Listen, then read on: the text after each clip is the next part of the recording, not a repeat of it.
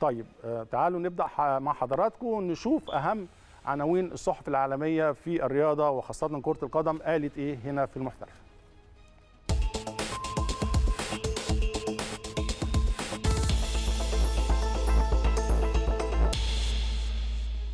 يلا نبدأ جولتنا في أسبانيا. تحديدا تحديدا جريدة ماركا الإسبانية ركزت على ثلاثي خط وسط ريال مدريد آه، آه، كازيميرو وتوني كروز ولوكا مودريتش وكتبت الثلاثي الخالد. آه، طبعا آه، ثلاثي رهيب جدا جدا على مستوى الكرة العالمية طبعا وكلهم على مستوى عالي جدا جدا.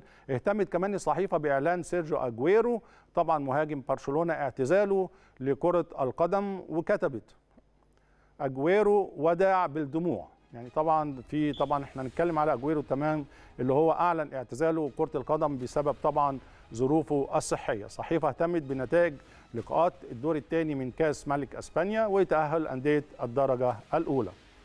على مستوى إسبانيا لسه في جريدة سبورت الإسبانية. ركزت على إعلان طبعا الأرجنتيني أجويرو لاعب برشلونة اعتزال كرة القدم وكتبت المرمى المرمى يبكي من أجل أجويرو.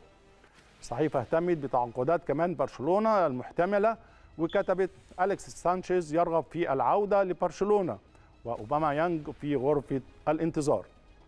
لسه في أسبانيا مع جريدة آس الأسبانية اللي ركزت على صراع باريس سان جيرمان وريال مدريد على المدافع الألماني أنطونيو روديجر.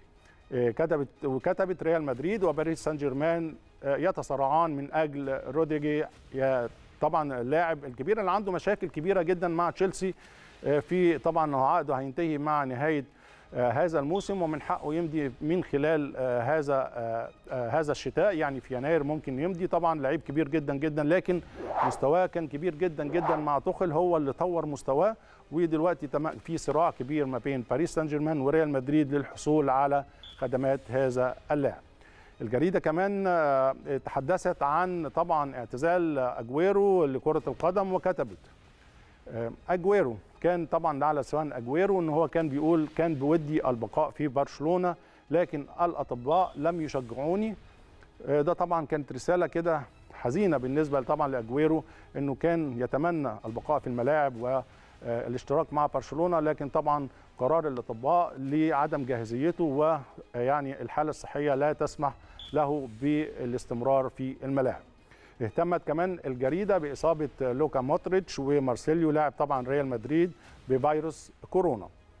ميرور سبورت هنروح ونسيب أسبانيا ونروح لطبعا إنجلترا. تحديدا تحديدا صحيفة ميرور سبورت الإنجليزية اللي ركزت على غضب مدربي الأندية الدوري الإنجليزي الممتاز من انتشار فيروس كورونا في صفوف اللاعبين.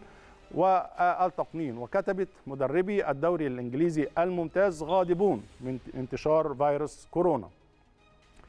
كمان الجريدة اهتمت بفوز الأرسنال على وست هام يونايتد 2-0 في الدوري الإنجليزي الممتاز وصعود آه، طبعا أرسنال إلى المركز الرابع. نروح لفرنسا. جريدة الكيب الفرنسية اللي اهتمت بفريق ليل. وطبعا فترة الانتقالات الشتوية وكتبت ليل وفت- وفترة الانتقالات الشتوية الخطرة. ركزت صحيفة على أخبار إلغاء نهائيات أمم أفريقيا وتأثيرها على لاعبي الأندية الأوروبية والأفريقية وكتبت لا لأفريقيا. وكتبت كمان هناك ناقوس خطر من فرنسا ولن يذهب أي لاعب لبطولة أمم أفريقيا بدون ضمان صحي. دي طبعا على مستوى الصحف الإيطالية. كتبت إن كمان بطولة أمم أفريقيا في خطر لكن الكاف طبعا بينكر ذلك. الصحيفة كمان اهتمت بتطورات تجديد نابولي لعقد آه، إنسيني وكتبت إنسيني ونابولي القرار في يناير.